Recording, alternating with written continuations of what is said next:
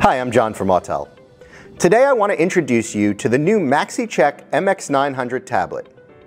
It's an updated version of the repair shop workhorse, the MX808. The new MX900 features a larger display, longer battery life, double the operating and storage memory, a faster processor, and the Android 11 operating system. All this hardware and tech easily makes the MX900 the best value all systems tablet on the market. But with the MX900, all systems fault detection is just the start of what it does so well. In addition to basic diagnostics for US, Asian, and European vehicles in 1996 and later, including reading and erasing codes, viewing freeze frame and live data, the MX900 executes bidirectional controls. So it takes your diagnostics to the next level with active tests and special functions.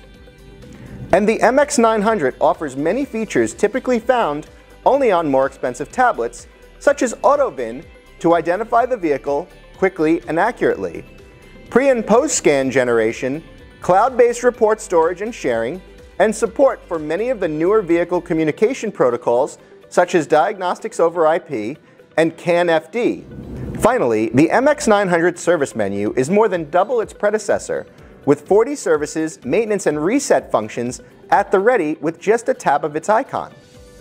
Both common and not so common services and resets, including oil and maintenance light reset, battery registration, airbag reset, occupancy seat detection, brake bleed, DPF regen, electronic parking brake calibration, and rain slash light sensor reset. The new MX900 is a little tablet that offers a lot, I invite you to check it out at autel.com. Thanks for watching.